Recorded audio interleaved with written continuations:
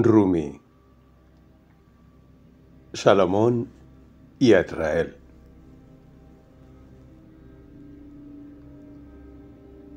Un hombre vino muy temprano a presentarse en el palacio del profeta Salomón, con el rostro pálido y los labios descoloridos.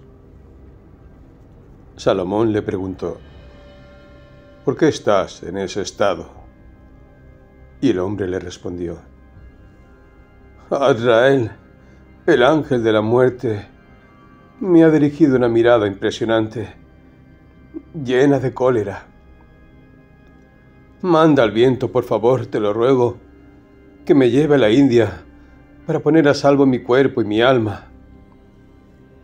Salomón mandó, pues, al viento que hiciera lo que pedía el hombre.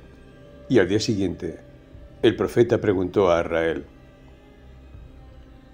¿Por qué has echado una mirada tan inquietante a ese hombre, que es un fiel?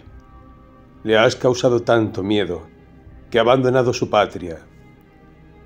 Israel respondió, Ha interpretado mal mi mirada. No lo miré con cólera, sino con asombro.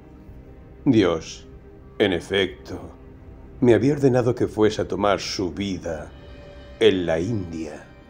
Y me dije, ¿Cómo podría, a menos que tuviese alas, trasladarse a la India?